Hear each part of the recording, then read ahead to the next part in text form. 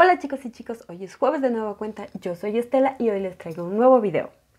El domingo pasado se realizaron los premios Oscar y como ya todos sabemos, la expectativa era enorme por Roma y obviamente por Yalitza Aparicio. Lastimosamente no ganó como mejor actriz, pero Roma al menos se llevó tres estatuillas, entre ellas como mejor director. Y si no me equivoco, con esta ya son cinco consecutivas para los mexicanos. Si no, pues en los comentarios me dicen qué onda. Pero vamos a lo que vinimos. Aquí los vestidos. Y hoy, además de hablar de los vestidos de la alfombra roja, también hablaremos de los vestidos que usaron en el after party de Vanity Fair. En la alfombra, si se dieron cuenta, muchas llevaron tul y rosa en variedad de tonos y los infaltables metalizados. Eso fue lo que predominó. Vamos a comenzar con Charlize Theron. Ella llevaba un hermoso vestido azul Dior, súper elegante, sobrio y ajustado, con una cola mediana completamente liso, con cuello Perkins, con manga larga y en la muñeca tenía como una especie de dobladillo hacia afuera. Lo más bello del vestido sin duda era el escote en toda la espalda, lo complementó con joyas y en forma de serpiente, así como muy particular. Y bueno, el cabello la verdad no me gustó, lo sentí como muy simple. Eh, el maquillaje lo sentí demasiado natural, los aretes tampoco me gustaron, pero el vestido la verdad es que sí estuvo, estuvo muy bonito. Seguimos con Emma Stone y de verdad que este Louis Vuitton no me gustó nadita. Era un vestido café, pero también era marrón, también era dorado, parecían lentejuelas, metalizado. La verdad es que estuvo muy, muy, muy... Bueno, digamos que el color sí está muy bonito, porque era como... Mm, como no sabrías bien, bien qué color, pero se veía bien. Lo que no me gustó en realidad fueron los hombros, porque, no sé, para mí parecía como jugador de fútbol americano, la verdad. El maquillaje de verdad tampoco me gustó y el cabello menos. Así como en la parte de atrás se veía como si estuviera un tanto despeinado. Entonces mm, no me gustó nada más que el color. Seguimos con Lady Gaga. Y miren, ella llegó muy bonita en un vestido negro súper sobrio de Alexander McQueen. Em, era palabra de honor, con un detalle bastante feo. El detallito ese sí no me gustó en la cintura. Luego era ajustado hasta la cadera y la falda le seguía tipo princesa. Lo que no me gustó nada más fue ese detallito que parecía que era única y exclusivamente para apoyar las manos. Em, fue lo único. Como en años anteriores, esta mujer otra vez optó por usar guantes. La diferencia es que esta vez los guantes, digamos que sí se veían bien porque al menos eran del mismo color del vestido. Y también llevó un extravagante collar. Eh, me parece que era como un poquito amarillo.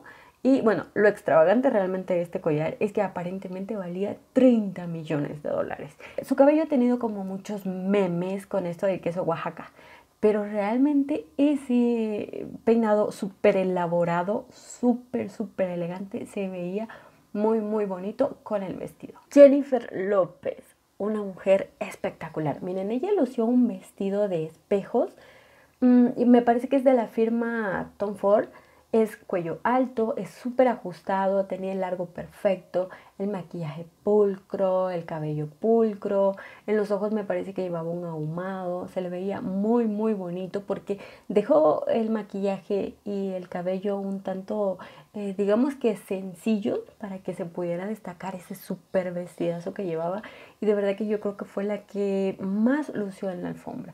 Glenn Close que miren, ella brilló y de verdad brilló literal porque llevaba un vestido de Carolina Herrera en dorado y el vestido estaba bonito como por partes, digamos, porque si hubiera dejado solo el vestido, sí, se veía muy bonito, era manga larga, era un tanto ajustado a su figura.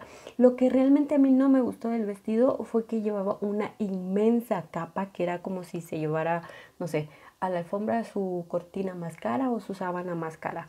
Esa capa fue lo único que a mí me hizo mucho ruido. Em, creo que también unos detallitos que tenía a los costados como, no sé si simulaban bolsas o si eran bolsas o si simplemente era un adornito, un detallito nada más del vestido. Eh, eso tampoco me gustó. Pero mm, lo demás sí, el largo, su cabello, su maquillaje, sí me gustó. La actitud de esa señora, evidentemente a quien no le gusta, es una bárbara, una señora regia. Pero la capa definitivamente fue lo que para mi gusto arruinó absolutamente todo. Ahora vamos a hablar de la más esperada de esa noche. Obviamente estoy hablando de Yalitza Aparicio. Esta mujer de verdad se veía bien linda, ella siempre, siempre sonriente, súper educada, hablando con todos los eh, eh, periodistas que le hacían preguntas. Em, no sé, como ella es como muy dada a la gente, ella no, digamos que todavía no se le ha subido, vaya. Miren, llevó un vestido de rodarte asimétrico. Eh, bueno, con el color como que todo el mundo dice, no, pues que es agua, que es azul celeste, que es verde menta, pues llámelo como usted, señor o señora, lo quieran llamar. Pero era un color muy lindo, que por cierto es color de temporada. Y llevaba detallitos en plata o puntos brillantes, si lo quieren ver así, por todo el vestido. Eh, aparte la falda era corte princesa, era de una manga y la mujer se veía de verdad muy linda, muy bonita, el maquillaje súper natural, el cabello suelto, lacio, lo tiene súper largo, lo tiene muy bonito, muy cuidado. Entonces ella de verdad que se veía muy, muy linda. A mí me gustó muchísimo su vestido y me gustó mucho ella, su actitud. Eh, en general, Yalitza me gusta mucho. Y ahora, chicas, les voy a hablar de tres vestidos únicamente de, eh, bueno, que usaron las actrices. bueno, en realidad una es cantante y también es actriz, la otra es modelo y la otra es, pues no sé qué es, simplemente creo que es socialité. Em, y nada más, escogí estos tres vestidos porque de verdad son los vestidos que a mí me, a mí me mataron en la alfombra del after party de Vanity Fair. Y voy a empezar con Jennifer López usó un vestido metalizado que iba del negro al azul, con abertura en la pierna, con corte asimétrico, con vuelos como a la altura del pecho a la cadera, con unos tacones en azul también muy bellos, bellos, bellos. Em, el cabello lo llevaba como un tanto ondulado, un tanto descuidado, pero no descuidado, o sea, como despeinado, pero no, así como muy fresco. Eh, me gustó muchísimo, llevaba smokey eyes, la verdad es que se veía muy muy bonita con este vestido. Dio un cambio completo de una alfombra a la otra. Este vestido es de un diseñador que les voy a dejar acá el nombre porque no lo sé pronunciar la verdad. Pero sí, me gustó muchísimo. Ahora, Rosie Huntington Whitley, la mujer que me quitó a mi hombre.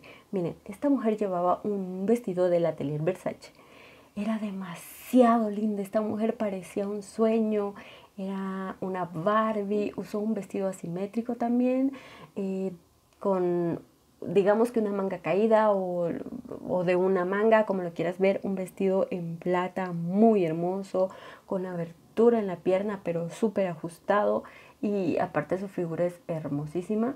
No sé, la hacía ver no sé, como un cuento, como una Barbie, como una ilusión, como un sueño. Se veía muy linda, el cabello suelto y lacio, que wow. Los labios de esta mujer son hermosos, el maquillaje es súper espectacular y con esos labios yo digo, Dios, con razón, Jason la prefiero a ella.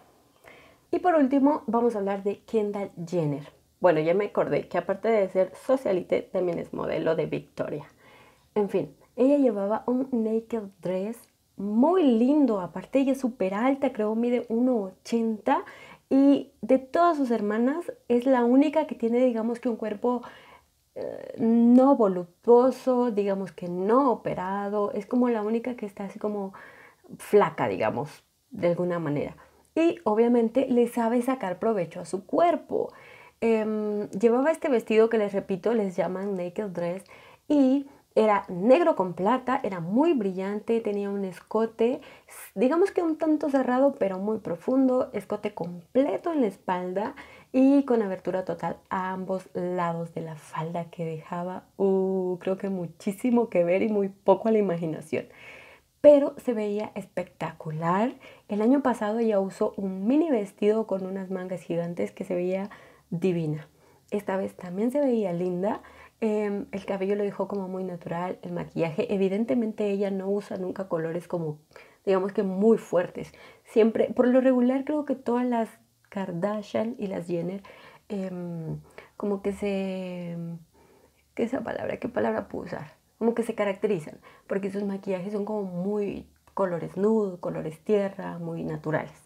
Entonces sí, me gustó mucho. Este vestido es de un diseñador que se llama Rami Kari. Y esto es todo chicos por el video de hoy. No olviden buscarme en mis redes sociales como Estela Laínez, suscribirse al canal, darle like, comentar y compartir. Y recuerden que nosotros nos vemos el próximo jueves. No olviden que yo los quiero muchate, muchate, muchate. Adiós.